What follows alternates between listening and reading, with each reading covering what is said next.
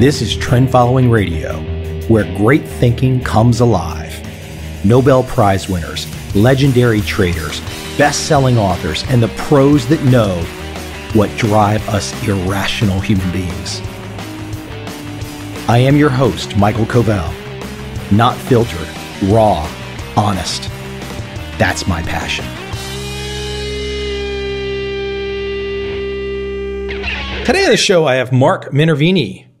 Mark is the author of Trade Like a Stock Market Wizard, also featured in Stock Market Wizards by Jack Schwager.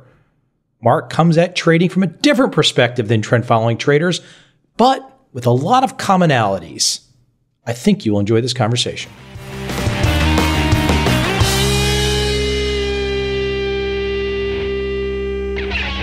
You know, one thing I noticed about your world, and it reminds me of my world too, you definitely love those outside influences, the motivation, the persistence, the passion. I've seen that sprinkled throughout uh, your book and just around you. Yeah, yeah, absolutely.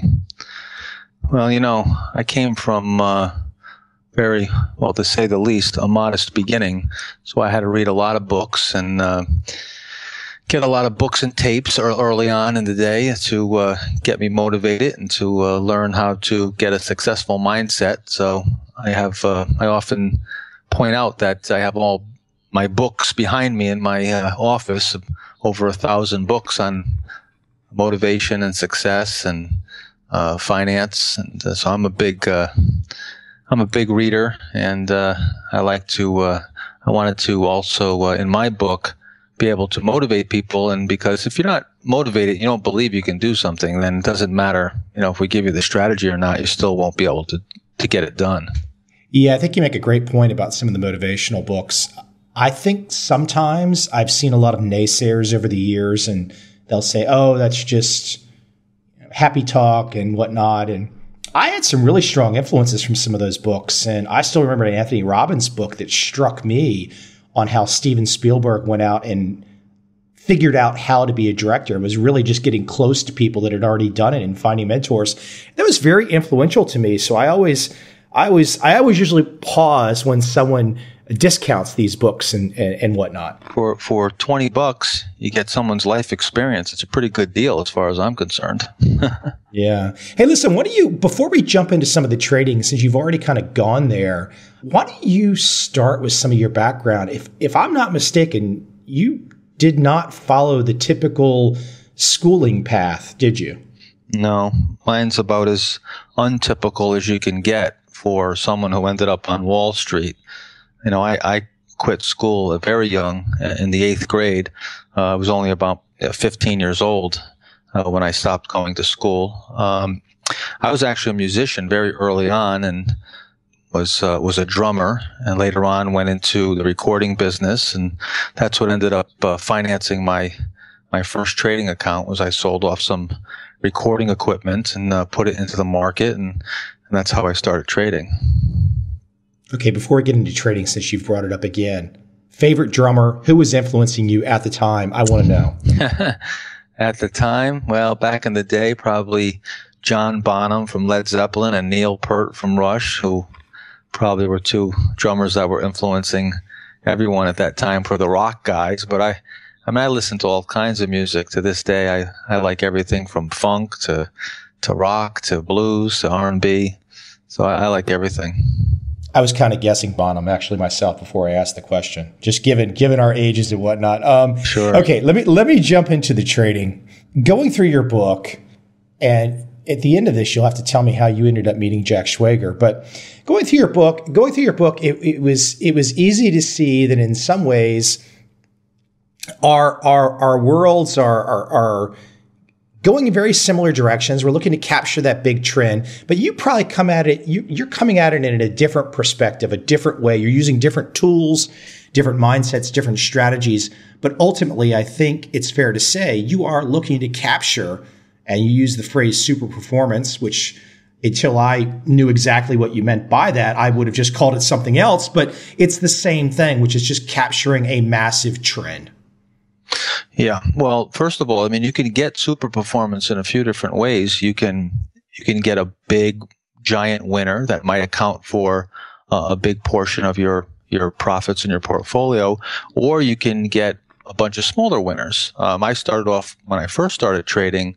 Uh, commissions were very high. They were $175, $200 a trade, and you weren't able to go in there and trade back and forth like you can today. So you you went in there looking for a double or triple at, at, a minimum.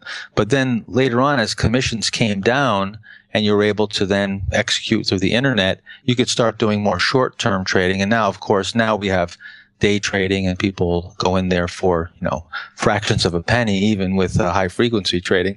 So, um, you know, there's a, there's multiple ways to skin the cat. It doesn't, my way isn't the only way, and uh, there's no best way. It's whatever works for the particular person, makes sense to you, fits your personality, and uh, but it's all about managing that risk versus that reward. So you know, it's just if you have big reward, you can take more risk. If you have smaller reward, then you have to manage that risk even more tightly.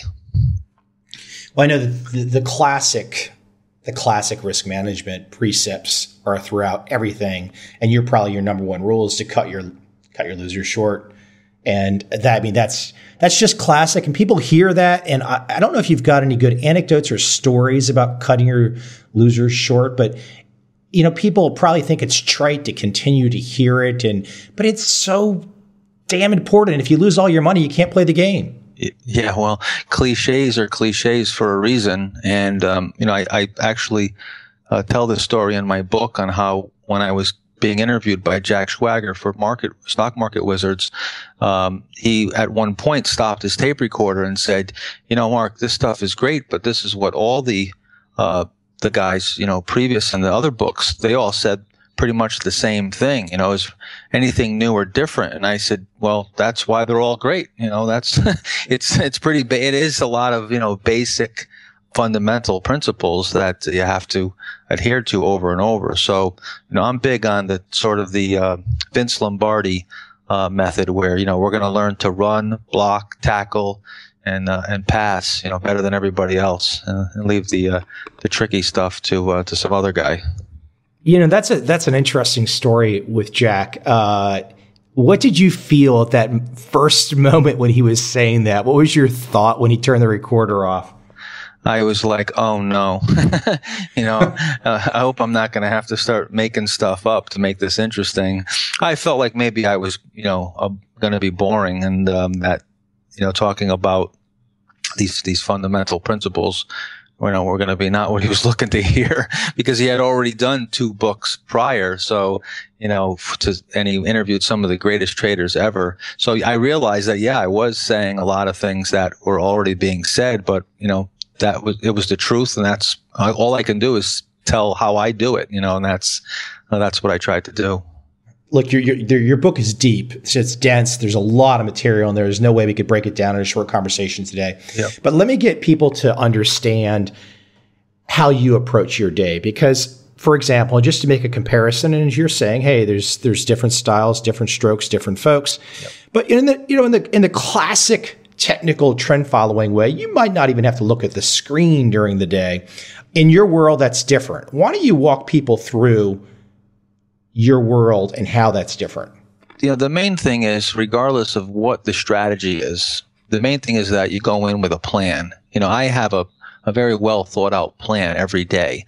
Of course, I've been doing this now for 30 years, so it, it, it comes very naturally to me now. But in the beginning, you have to really think about you know how you're going to respond to certain things and what triggers are going to make you get into a trade and, and out of a trade and, and really try to have as full of a plan as possible going into the day. So, um, you know, I do that planning the night before when I'm unemotional and like right now, and, uh, you know, 10 o'clock at night, I'm I'm in front of the computer and I'm looking for stocks and doing research and getting ready for the next day. So when that next day, you know, the market opens, I already know what I'm looking at, what I'm looking to buy, and I'm not calling audibles throughout the the day. So that's one of my rules is to not call audibles. Don't try to make something in the middle of the day that you hear a story and then all of a sudden you start trading something that you haven't done research on go in there with a, a plan that's already uh, you know pre-figured out before you even start the, the day yeah i think that's I mean, it's obviously wise words. And I get back to your point with Jack. People might be looking for you to say something uh, that they go, "What? I feel like I've heard that before." That's that's not necessarily new, but that's the way it's done. Yeah, well, well, you know, people a lot of times are looking for that the magical answer, and of course, you know, there aren't really many magical answers. It's it's it's work, and just like any other business. Um, but you, just because something is simple doesn't mean it's easy. It's just like you go back to a Beatles song, and you can play virtually every Beatles song on a you know acoustic guitar or a piano, and they're basic chord progressions. But that's what makes them so genius is that you take these basic you know, progressions and make them so beautiful melodic.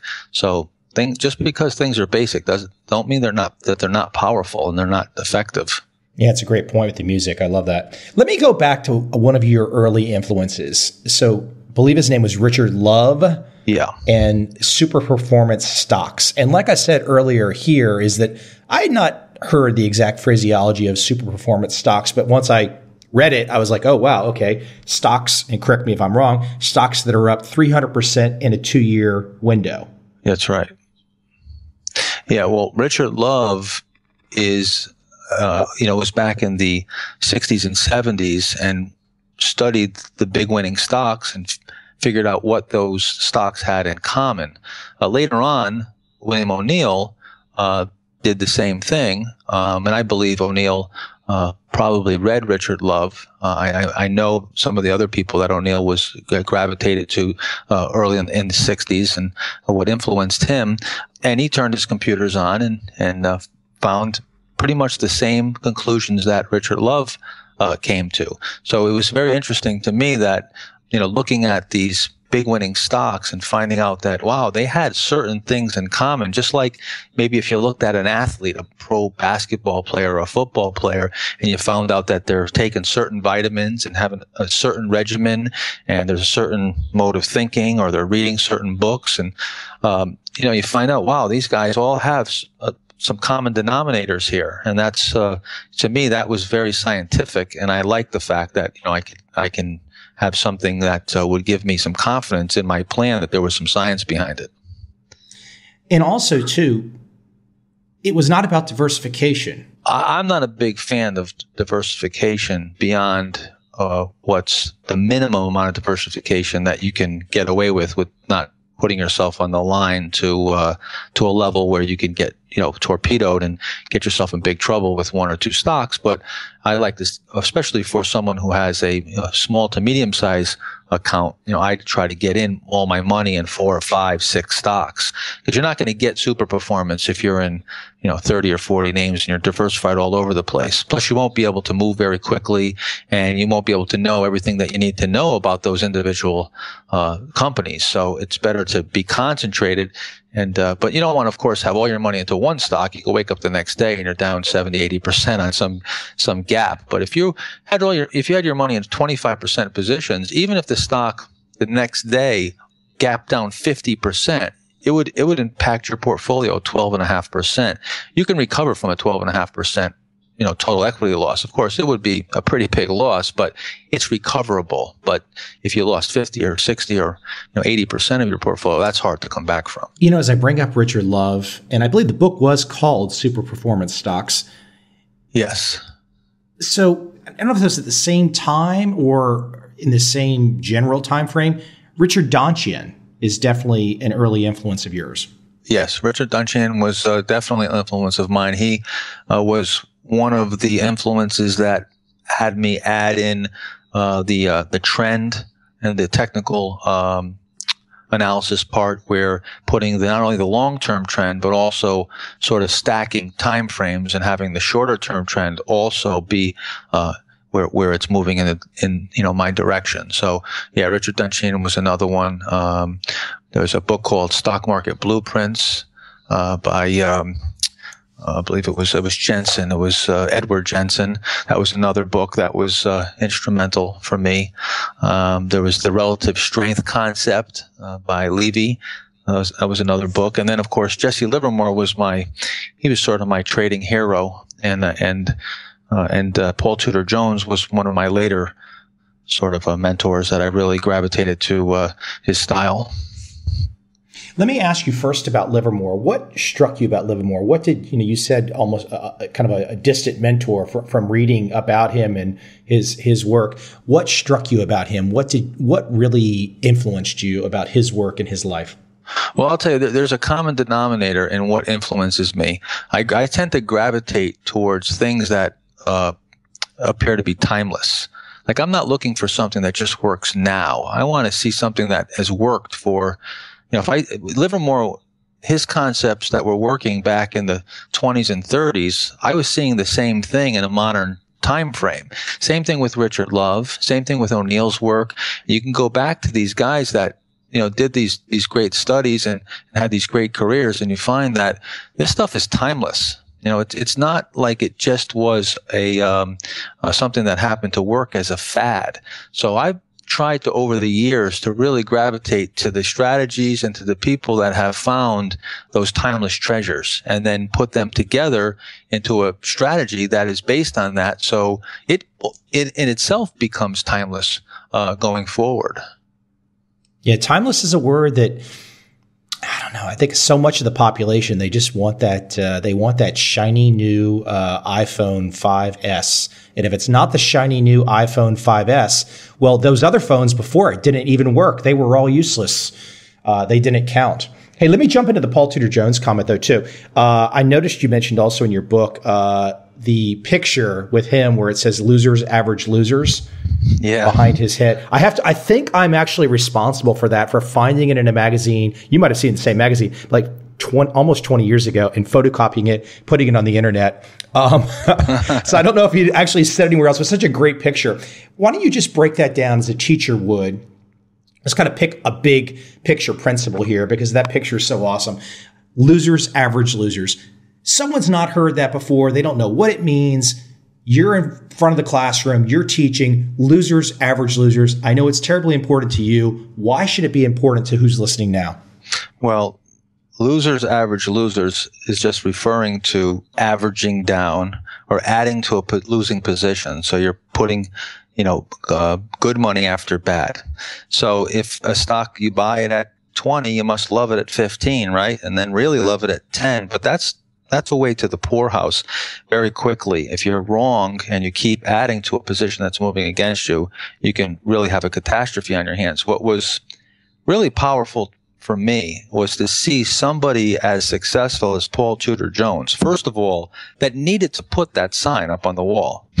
and that was first impressive to me that, wow, you know, here's a guy that, you know, is tremendously successful, but he still has to remind himself. So it just go, it, it made me realize that how compelling it is to be to add to a, a losing position and how important it was to remind yourself uh, constantly. Plus, that losers average losers to me is a really dramatic statement. I mean, that's a very very big statement. So, um, you know, I, I, just felt like if uh, someone like Paul Tudor Jones had to uh, remind himself of that on a regular basis, it, it, had to be pretty important. And I have, I also had up until that point have had experienced my own, uh, you know, setbacks where I would add to positions that were down and then ended up suffering big losses. So I, I had some real life experience to go along with that uh, realization. Yeah, there's a motivational aspect to that too, isn't there? Oh yeah. Yeah, because I mean, and, and, I know I'm fairly certain that Paul Tudor Jones has had a uh, close affinity or appreciation, and I mentioned him earlier, Anthony Robbins. And so I, when I look at that, and some people might say, well, that's a little aggressive, and you know, he's saying something uh, negative about other people. I think he's holding him, he's holding himself to the same standard. It's not like he's just pointing fingers at other people. He's putting it on his own wall and saying this applies to me too. Yeah, absolutely, absolutely. I mean, Paul Tudor Jones was one of the one of the be- the great risk managers and did it with a you know a tremendous amount of money. Um, so uh, again, you know, I, I that was uh, someone who I uh, uh, had a lot of respect for and still do. Let me jump into some other just big picture principles. Don't just buy what you know. I, I, I so many people reach out to me and they they'll say, "Well, can I can I do uh, the particular trading strategies on FX alone, just currencies alone, or something?" And I I sometimes wonder what what's going on at people's noggins because I'm so used to the the diversity of trading opportunities, but you know, don't just trade what you know. Again, this goes back to really like studying what produces these big winners, and they're not normally companies that you've heard about or are very popular, you know, like an IBM, it's been around for many years, may have its time and uh, from a bear market may put the stock down or uh, and then you'll have a, you know a nice move in the stock. But to make these really big what we call super performance moves or these velocity moves. Very often it's a company that you never heard of. So you have to be willing to uh, research companies that you, you may you may have never heard of. And and investors get are uncomfortable with that because they feel really comfortable going in there and buying Google because of course you know Google's not going to go out of business. Everybody uses Google, um, so if it's a household name, it gives a sense of comfort. Uh, but you got to kind of get out of that comfort zone if you want to find those big super performers. But now Google at one point in time was the super performer. That was the the one that no one had ever heard of. Well, that's exactly right. And if you go back and you take a look, I mean, I can remember when Dell Computer Nobody heard of Dell Computer. I can remember when Amazon, I bought Amazon and Yahoo very shortly after it was an IPO and it was moving into new high ground, and nobody knew those names. Um, and of course, now they're household names. But when they made their big, huge moves, and when I was involved in those uh, stocks in the late '80s and the and the, the early '90s, um, I couldn't find anybody that even knew, you know, what those companies did. Well, you just mentioned the phrase, uh, and, and I'll let you expand on it. New high ground you're not afraid of buying higher highs. Well, here's the thing. Now, of course, at some point when a stock tops, it'll make a new high, and uh, that'll be the ultimate high point. But if you're going to make a really big move in a, in a stock, let's just say, you know, you happen to go in there and, and buy a stock that uh, uh, is down uh, from its high, and it's off 50 or 60 percent. Well, that stock, if it's going to make a big move, it's to get back to its old high, it's only going to go up 100%. Now, that may sound like, wow, only 100%. 100% is a big move. But when you're looking at a Priceline or some of these stocks that have gone up for, or, you know, Yahoo, I bought Yahoo, it went up almost 8,000% after I bought it. When you're talking about that type of move, the only way to make that type of move is to make a new high all the way up because again, even if the stock was down, cut in half, and then it came back to its old high, it's only up 100%. From that point on, it's all new highs. So you really have to make new highs at some point to make a really big move. And, and that's why so many investors don't participate in those really big moves because when the stock hits a new high, they think that this, it's too high and, and that it can't go any higher. But very often it's just the beginning of the, of the move well, it opens up the door on psychology because at that at that all time high, many people say, "Well, let's just wait for it to come back some. Let me let me let me let it retrace a little so I can so I can buy it cheaper." Yeah. Yeah, well that that works both ways too. Sometimes somebody's at a loss and they say, "Well, when it, you know, when it rallies back, I'll sell it and I'll and I'll and I'll get out at break even." Or you know, like you said, the stock goes up and they say, "Well, I'll wait for it to pull back and then I'll and then I'll buy it. And then, of course, it never really pulls back very much. And then they're sitting there, you know, oh, well, I could have bought that. I could have bought that stock at 20 bucks. Uh, you know, and years later, the stock's up four or 500%. So I, you know, I've heard that many times.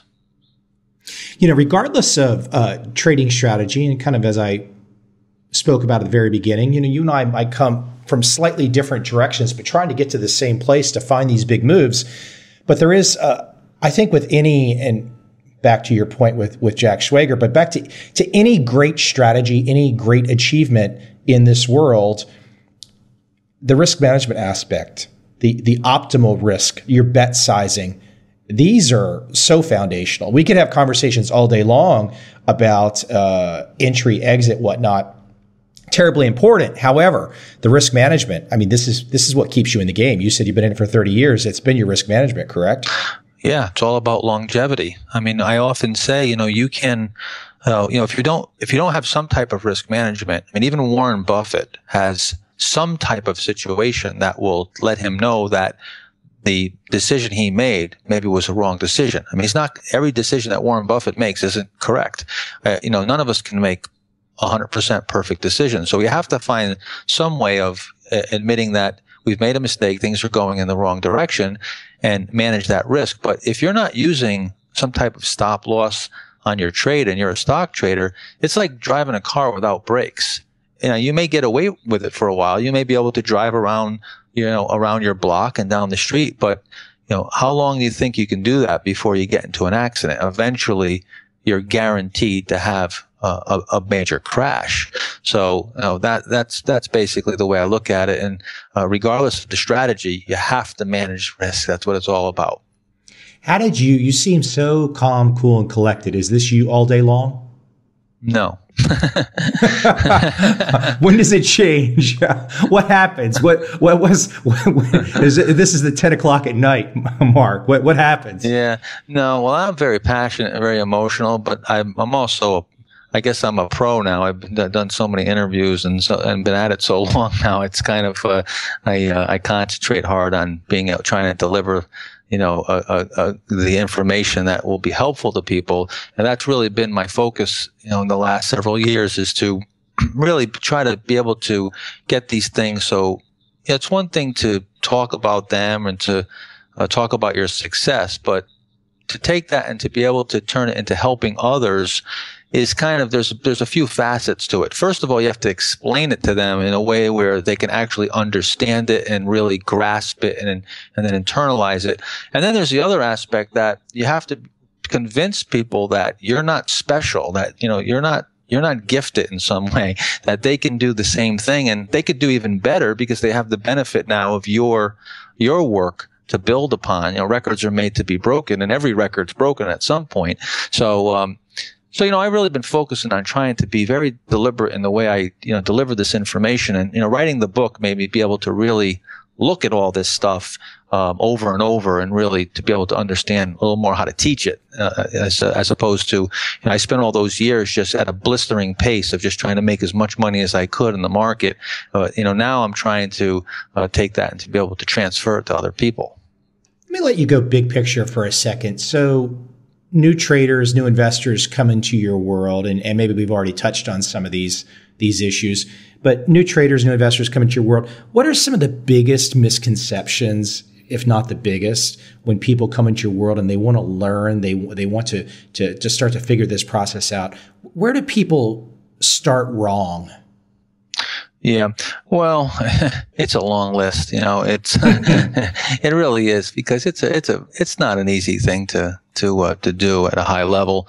Um, you know, the discipline is really the, the main thing. You know, you, you, you can be very smart and, and intellectualize this stuff over and over, but it's the same thing, you know, I mean, are you stupid because you can't stick to a diet? I mean, there's, I'm sure there's physicists out there that uh, you know, that uh, try to diet and don't don't stick to it, and or uh, try to get in the gym and and don't uh, stick to going to the gym, and um, you know, it's all about discipline, and uh, so that comes from you know how bad you want it and how bad you be- how much you believe that you can actually uh, get to that other side of the of the tunnel.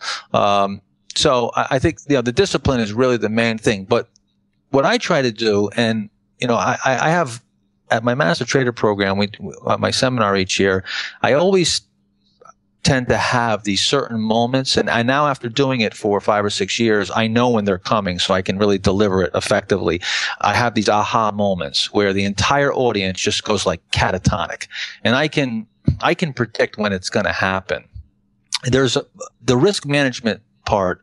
Uh, there's certain segments of the risk management part where the entire audience just completely just goes like like deer in headlights.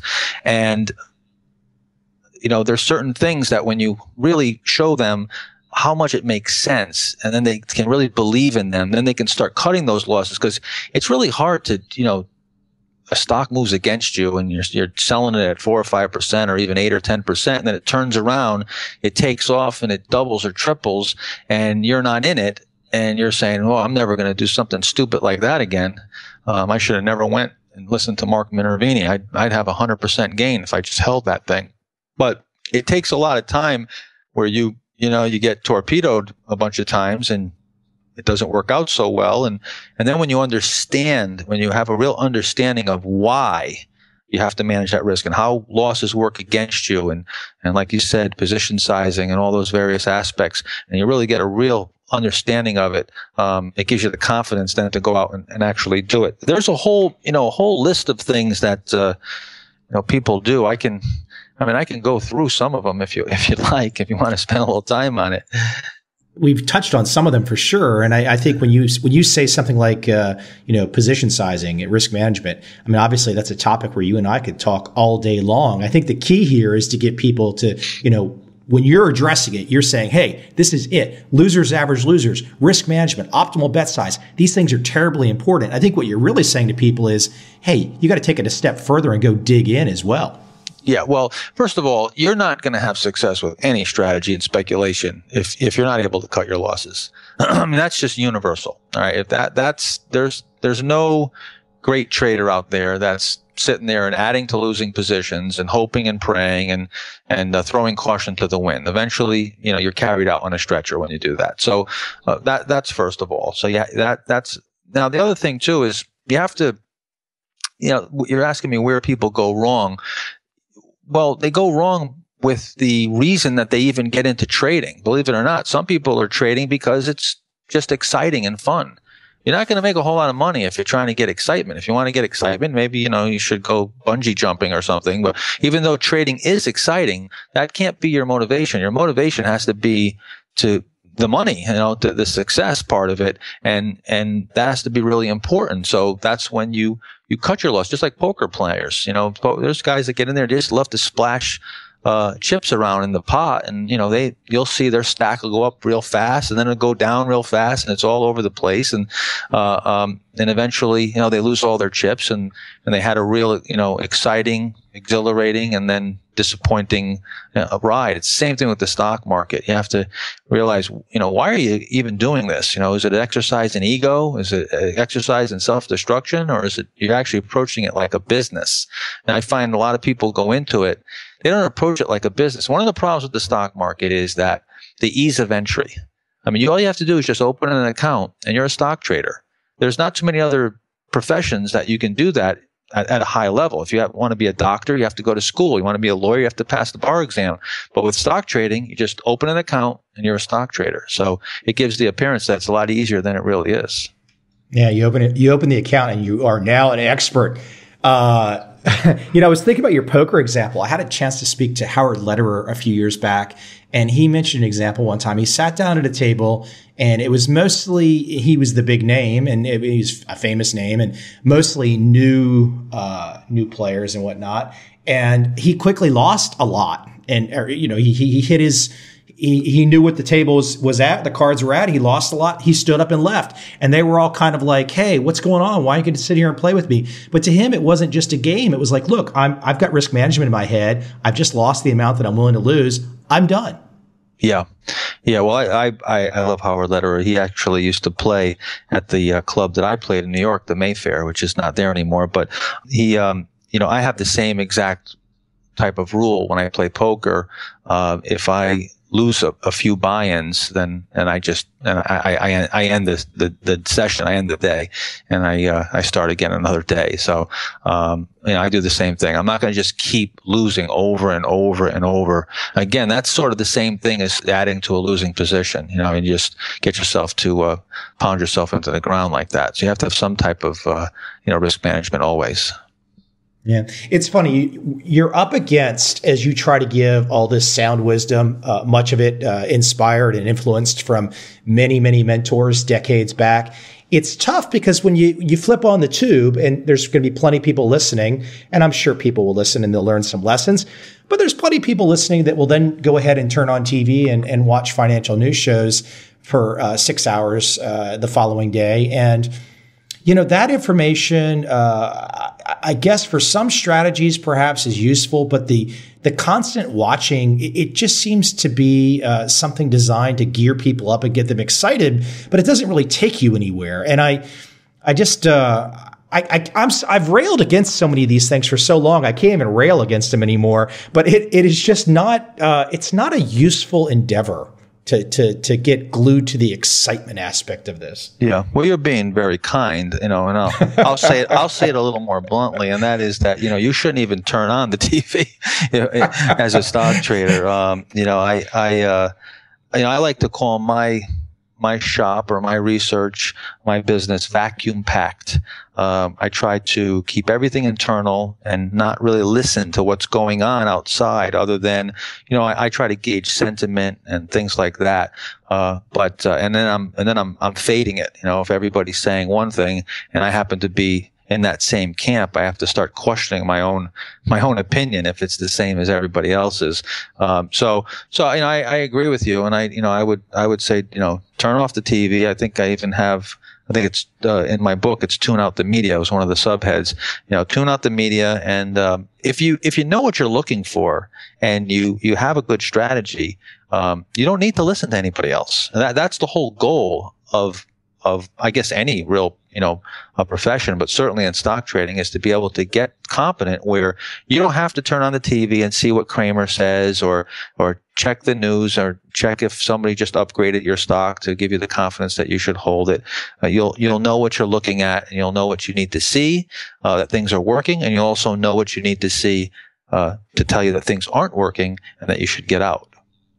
Can I tell you, my only time that I turn it on is if there's uh, and typically in stocks, if there's some big unexpected down day, uh, and I can still remember back to the summer of 07, that's when it's kind of exciting to watch CNBC when they're going crazy. When there's that, when, that's what it's for. It's a pure entertainment, nothing to do with trading or making money, but pure entertainment of just to watch the newscasters go crazy when uh, the narrative has broken and they're surprised. That's uh, that's kind of a sadistic form of entertainment, perhaps. But, uh, yeah. Well, to be fair, there's lots of very smart people that show up on CNBC and these shows, but there's also uh, lots of opinions that are completely contrary to each other, and there's a lot of noise, and um, it could be very confusing if you if you try to uh, you know listen to all these opinions because not only the the stock market, but everybody's opinion will validate virtually you know every type of thought that you can have. If you're you know positive on the market and you feel bullish there's always some something out there that'll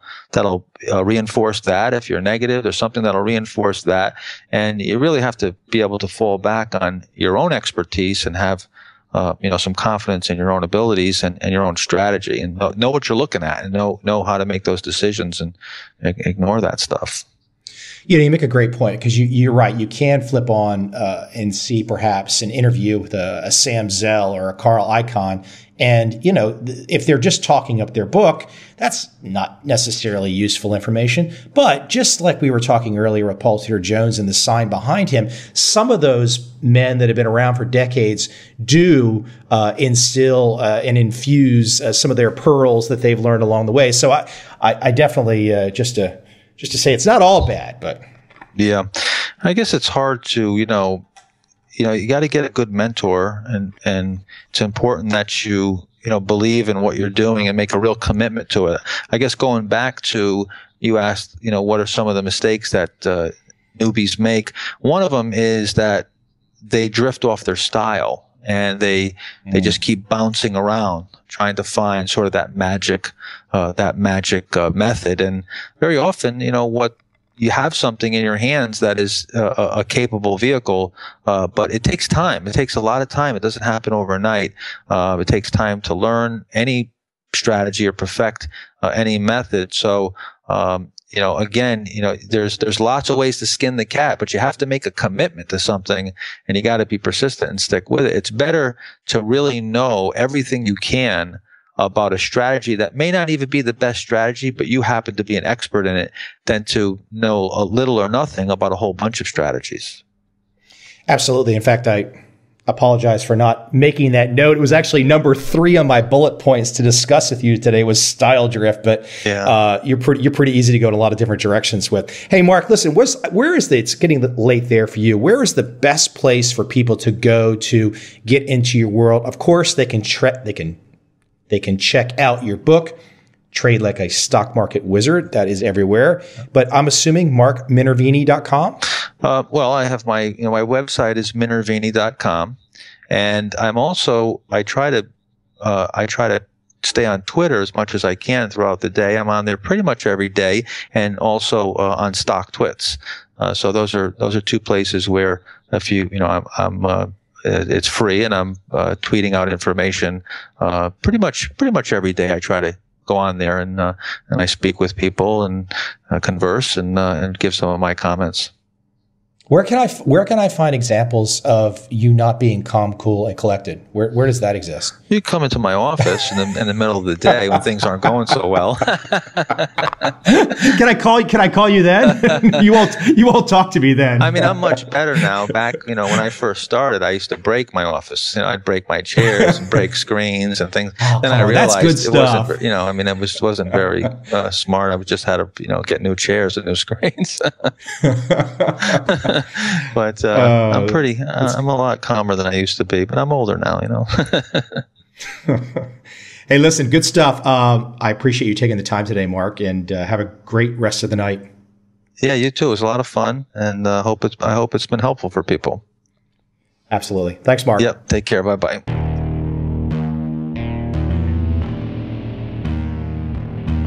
I see a time when those awake will understand how to make money in up, down, and surprise markets. Whether new trader or experienced, college student or financial advisor, protecting against a crash or just trying to make a lot of money, trend following offers everyone an answer in uncertain times. To get started immediately, send me an email, michael at covel.com. I will send you the right trend following steps to take along with my free video. But if you want to buy and hold, trust the government and trust Wall Street, this is absolutely not for you.